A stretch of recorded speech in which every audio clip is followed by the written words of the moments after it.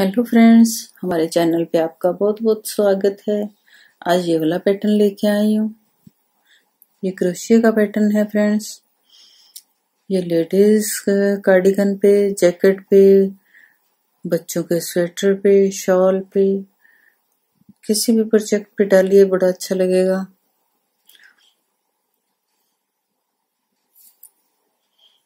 Friends एकदम simple सा pattern है। जिसे बिगनर भी ट्राई कर सकते हैं, लेकिन बहुत सुंदर लगता है बनाने के बाद। तो आइए बना के बताती हूँ कैसे बना है। तो फ्रेंड्स अगर आप मेरे चैनल पर पहले से हैं तो आपका बहुत बहुत शुक्रिया। और अगर आप पहली बार विज़िट कर रहे हैं तो चैनल मेरा सब्सक्राइब कर लीजिए। और बेल आइकन प्रेस कर लेना ताकि आने वाली कोई नई वीडियो मिस ना हो। फ्रेंड्स अगर आपको मेरे बनाए हुए प्रोजेक्ट अच्छे लग रहे हैं तो अपने फैमिली मेंबर्स में फ्रेंड सर्कल में ज़रूर शेयर किया कीजिए, ताकि आपके साथ साथ वो सब भी इंजॉय कर सकें। तो फ्रेंड्स फीडबैक देना मत भूलिए। फीडबैक ज़रूर दिया कीजिए कि आपको कैसे लग रहे हैं मेरे बनाए हुए प्रोजेक्ट फ्रेंड्स इसके लिए मैंने एक ये बेसिक रो तैयार कर रखी है। तो यहीं से हमने डिज़ाइन डालना शुरू कर देना है। दो चेन कर लेंगे और एज स्टिच लगा लेंगे। ये दो इस तरह से एज स्टिच लगा लेंगे। यहाँ पे फ्रेंड्स एक चेन बना लेनी है। और यहाँ पर मैंने दो स्टिच छोड़कर तीसरे में इस तरह दो स्टिच लगा लिए फिर फ्रेंड्स एक चेन करेंगे और दो स्टिच छोड़ेंगे और एक स्टिच ऐसे बुनेंगे और नेक्स्ट वाले में दूसरा स्टिच बुनेंगे। फ्रेंड्स इन दोनों में ये फ़र्क है। ये भी दो स्टिच हैं, ये भी दो स्टिच हैं, लेकिन ये दोनों स्टिच सेम पोस्ट पे हैं। ये दोनों अलग अलग हैं। ये इस चीज़ का ध्यान रखना है। और ये एक चेन दो स्टिच छोड़े नीचे से सेम पोस्ट पे दो स्टिच लगा लेंगे। फिर एक चेन बना लेंगे और दो स्टिच छोड़कर यहाँ पे दो स्टिच लगाएँगे अलग अलग पोस्ट पे। इस तरह से।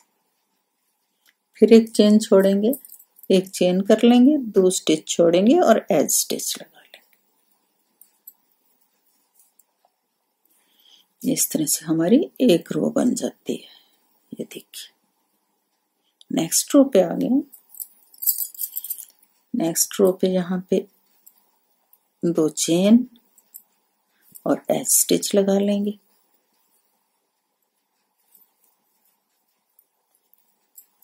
फिर यहाँ पे एक चेन बनाएँगे।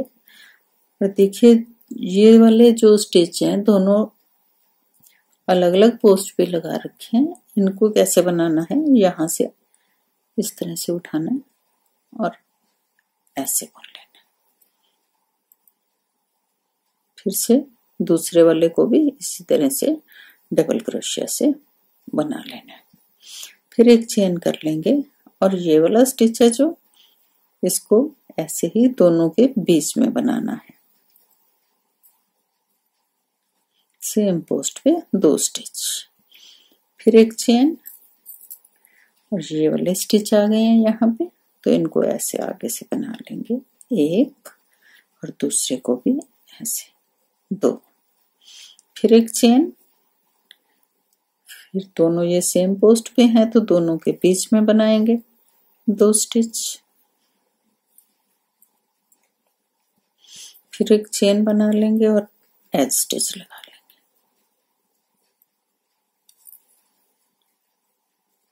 ये देखिए, दो रो हमारी कंप्लीट हो गई। नेक्स्ट रो पे आ जाते हैं। दो चेन एज स्टिच दो, फिर एक चेन फिर ये दोनों के बीच में दो स्टिच अब फ्रेंड्स ये हमारी डिज़ाइन की उल्टी साइड है रॉन्ग साइड है। डिज़ाइन हमारा इस तरफ़ से बन रहा है, ये हमारी प्रोजेक्ट की सीधी वाली साइड तो क्या करना है, यहाँ एक चेन बनाएँगे। इस स्टिच को इस तरफ़ से उठाएँगे हम, ये देखिए, इधर से, ऐसे।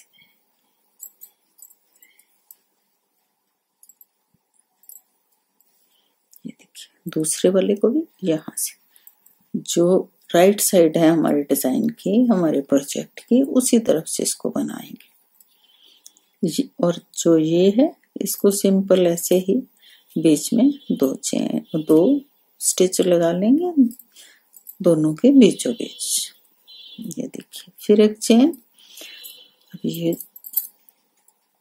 देखिए, इसको इस तरफ़ से बनाना है। दूसरे वाले को भी फ्रंट से बनाना है।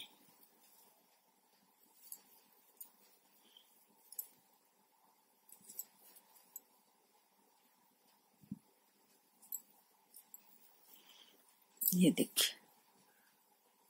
नेक्स्ट रो पे आ गया तो ये रो कैसे बनेंगी?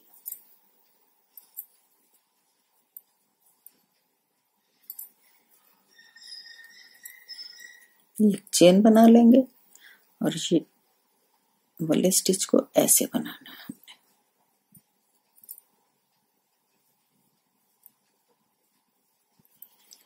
ये हमारी फ्रंट साइड है डिज़ाइन की।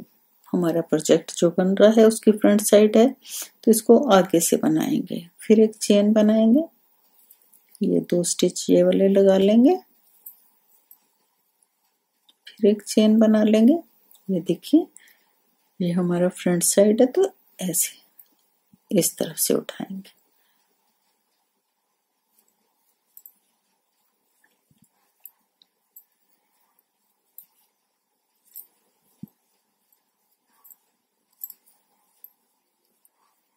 फिर एक चेन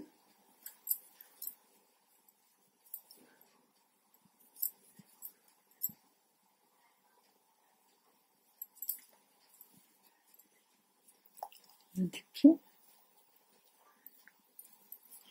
ये हमारे डिज़ाइन की, हमारा जो प्रोजेक्ट बन रहा है, उसकी उल्टी साइड है। तो उल्टी साइड में थोड़ा सा ध्यान देना है, कैसे बनानी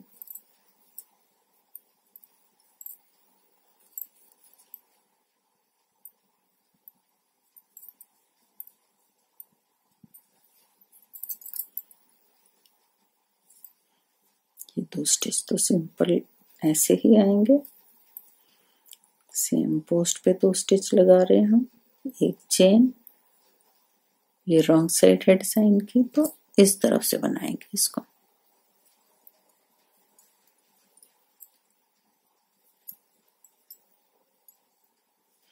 फिर एक चेन